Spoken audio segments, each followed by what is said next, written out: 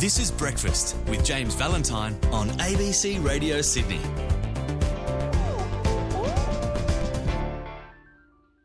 Well, look, unfortunately, just because of the runway configurations at Sydney, uh, when the wind is no longer prevailing the uh, the north south uh, runways, which we have two of, and it goes east west, uh, we only have one runway. So, unfortunately, what happens at, at that time is operations end up vastly impacted. Uh, it reduces the number of flights and frequencies in order to maintain safety for operations. So, unfortunately for the travelling public, it's just going to cause delays. Yeah. Now, and that some of the situation things. has been pretty much, uh, you know, that that's been the norm. Yeah. Now, uh, I'm, I know that I'm speaking out of ignorance here, but I'm sort of repeating things I've heard or pe- things people say. So I'm not just saying this as a critique as such. Is Sydney Airport a bit overcautious about this? Does it go to that? Does it close the runway a bit early? No, not really. I mean, Australia has a long uh, and proud safety record of aviation, and so precautions are taken during those weather events uh, to ensure that operations uh, continue. Uh, and in a manner that is safe for the travelling public. So, uh, unfortunately, it just means whenever that uh, wind condition shifts, the cross runway is going to come into effect and operations will slow down. But to be perfectly honest, James, there's a there's a bigger storm brewing in aviation right now, and that's not the the impact on the cross runway. That's the shortage of pilots and the shortage of engineers, which in the next uh, three to five years, if we don't solve, we're going to have much bigger impacts on commercial aviation nationwide. Yeah, right. So this seems to be this is also then chiming into this sense of what what I struggled to get my head around a little before COVID. You know, you flew up and down to Sydney to, to Melbourne in a day. I went to Brisbane and came back in a day because the you could rely on the flights. You could rely that it's going to happen. Now it just doesn't seem to happen, even if we have wind or not. It seems to be difficult to get to get on. Absolutely. COVID has had an absolutely devastating impact on aviation and uh, on the number of air crews, the number of engineers, ground support staff, and essential key personnel. Uh, Post COVID, the numbers just haven't returned to where they were previously, and that's having a huge impact on the aviation ecosystem. Uh, but worse still, uh, the impacts were greatly felt by the smaller general aviation industry nationwide, which is this is where the breeding ground of all the pilots, this is where we train our pilots, we train our engineers. And there is a national crisis taking place. We are so short on engineers in this country right now uh, that unless we start solving this problem, we are looking at a future where uh, airlines and smaller operators will struggle to continue to put aircraft in the air. And a lot of this is being driven um, and and made worse by a deepening and worsening regulatory situation in aviation, but also magnified by a deepening crisis with respect to privatised airports. And many of your listeners would be unaware.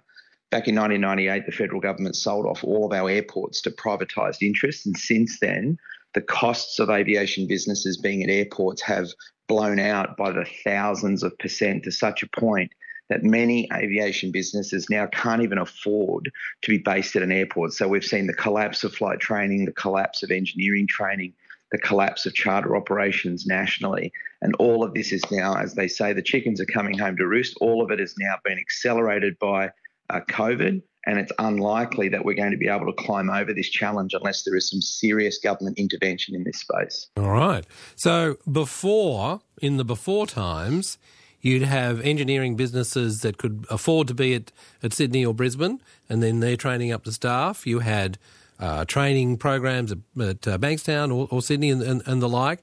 These things have been costed out of existence.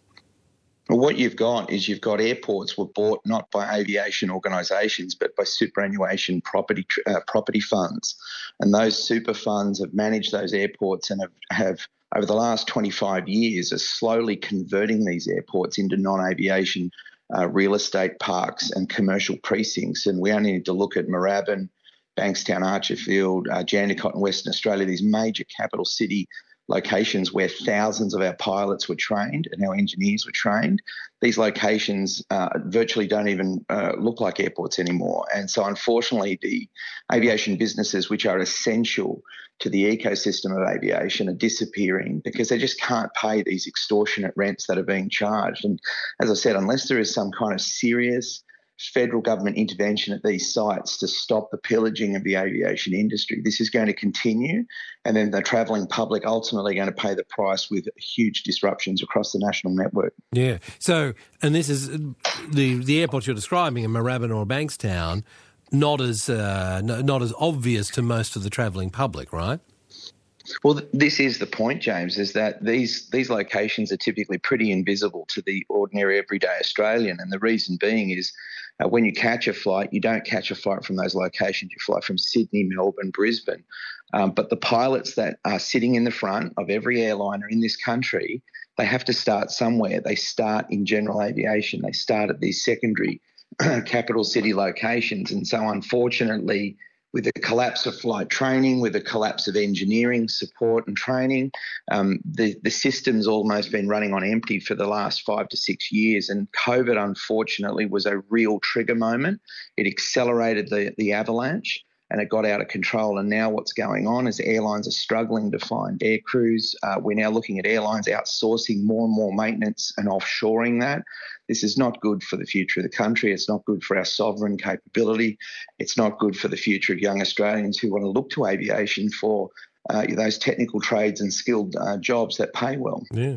Hearing from Ben Morgan, he's Executive Director of Aircraft Owners and Pilots Association of Australia, giving a, a big serve to uh, the difficulties in aviation uh, in, in Australia at the moment. And some of what you're describing does feed into why I'm standing there and my flight's been cancelled at, at, at, Sydney or Brisbane, right? If we don't, you're talking about problems that are looming for us, but those problems are here right now. What with privatised outsourcing of much of the staffing, what with a lack of staff still being there, it, whether that's air traffic control or the pilots, or I was waiting for a food cart to arrive the other day on, on a plane, seemed to be a problem. These are all the same kind of problem, right?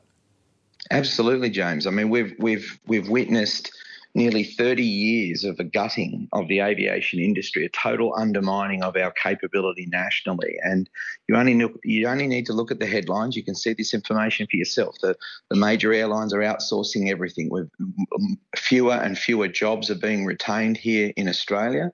This is having an impact on the ability for the airlines to keep these aircraft running consistently. I have never heard a period of time like I'm, I'm observing now where we're watching aircraft turning back engine failures in flight, aircraft serviceability failures. Uh, it's really starting, uh, as I said on another program only a few days ago, we're starting to see the cracks in the system now publicly. And it's really time for a major shake-up and a major wake-up call for not only the aviation industry, but for the federal government to realise that the impacts of over-regulation, the impacts of over-complexity to regulation, the cost impost that that is generating on industry, the deep and worsening impacts of privatisation at airports, and the fact that property prices have spiralled out of control to a point where your average aviation business just can't afford to be on an airport anymore. It's lunacy. Mm. Aviation businesses, flight training schools, engineering um, uh, organisations can't relocate. They can't go and start up off an airport. They have to be at the airport. So they're trapped in these monopolies that are gouging and raping the industry, and it's undermining our capability. And this will impact national consumers. There is no question about it. The aviation ecosystem will become more fragile, it'll become more unstable, and that's not what Australia needs. I think COVID highlighted how critical aviation is to the national economy. When the airlines stop, the country stops. We need to safeguard Australia's economy. We need to safeguard Australia's way of life by ensuring that the aviation industry has robust uh, frameworks and, and, infrastructure control. So it's time now for the federal government to step up. We really need to see the Prime Minister intervening. Uh, this is the, the the canary in the coal mine moment. If we don't do something soon, James, it's going to get much much worse. This is breakfast with James Valentine on ABC Radio Sydney.